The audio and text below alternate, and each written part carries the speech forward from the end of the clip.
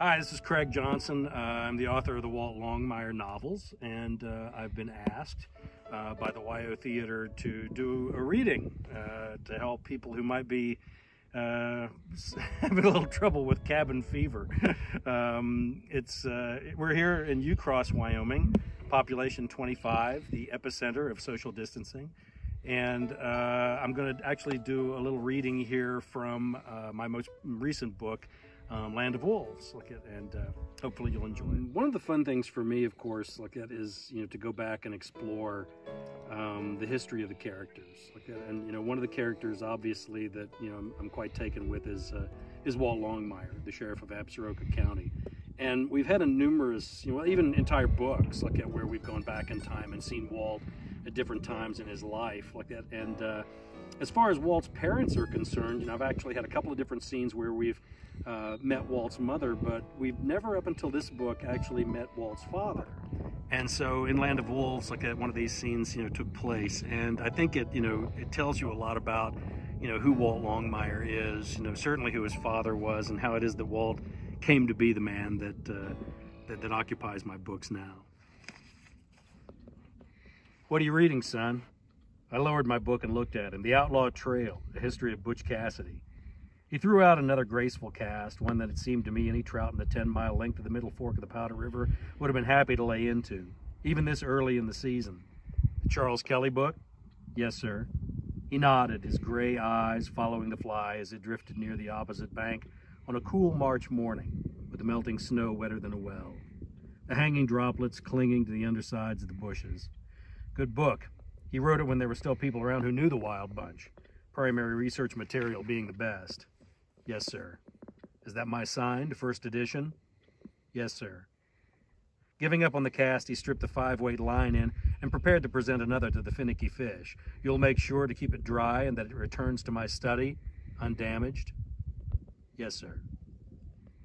Watching the ripples that swept just under the skim ice of the water where the sun reflected like a jewel case, I kept wondering, why are we here? I guess because it was uncommonly warm for the time of year and my father had gotten one of his wild hares and decided that we should go fishing. We'd tromped through the snow and broke a trail down to the river where he stood and I sat, having scraped the snow from a boulder. He flicked the rod tip forward, but just as he did, the wind came up and carried the gray hackle peacock into the bushes on the other side. March in Wyoming is a useless month where all you can do is wish the wind would stop blowing. He yanked, but the fly stayed stuck. Little wonder to me that Spurinna of the haruspex warned Caesar of the Ides of March. He yanked again, but this time the leader broke, the gossamer line falling to the water without the lure. Damn. He pulled another fly from the small wool patch on his vest as I asked about the outlaw. He never killed anybody? Butch Cassidy? Sliding his glasses onto his nose, he slipped the leader tippet through the eye of the fresh fly, expertly tying a clinch knot and clipping the tag end with a small tool that hung from his vest. Nope, and he said he never robbed an individual, just banks and railroads that he said had been robbing the people for years. I watched as my father flipped his arm back to a 12 o'clock position, the line looping out behind him and then suddenly forward, sending his hand-tied fly across the stream and under a large bush that hung over the fast-moving water. But he robbed banks, and banks are where people keep their money. I guess he didn't think of it that way. He adjusted, playing in a little and then mending the line, keeping the arc upstream. Anyway, he went to jail for that, but at his parole hearing, he promised the judge that he'd never rob another bank in Wyoming. Did he?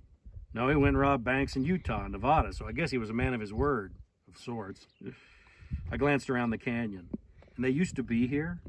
My father nodded, his head upstream. One of their hideouts, a cave, was over there, or so they say. Can we go see it? He turned towards me. I thought we were here to fish. Well, we are, but maybe after we catch a few. We come back to camp empty-handed, and that mother of yours is going to think that we were just down there taking a nap.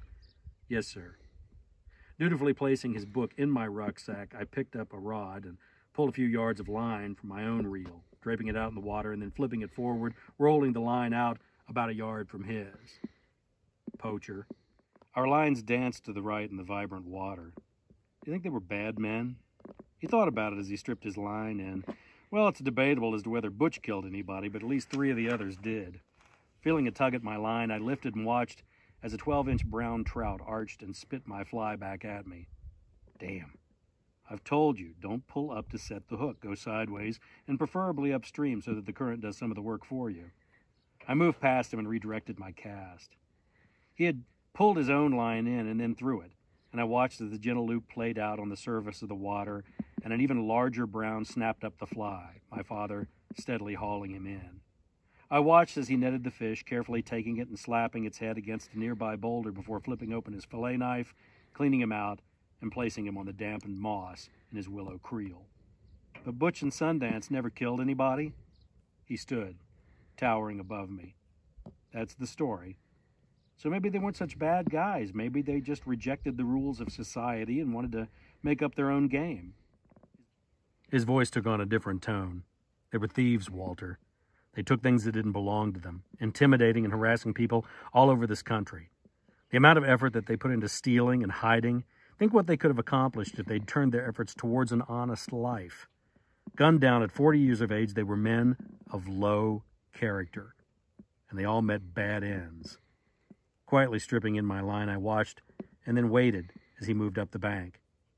He turned and looked back at me. There's a tendency in our society to romanticize the exploits of outlaws and gangsters. An insistence that they're Robin Hood type characters, that they have more in common with us than the people whom we hire to protect us and enforce our laws. I don't buy that. I think that when you pick up a gun and use it to take things away from people, it doesn't matter how clever or charming you are, you're just a thief. Plain and simple. I nodded. He studied me for what seemed like a very long while. You want to go look at that cave? Yes, sir. He started off as I secured my line and stumbled after him with a hidden smile. Um, how do you get low character anyway? He called back. By not listening to your father.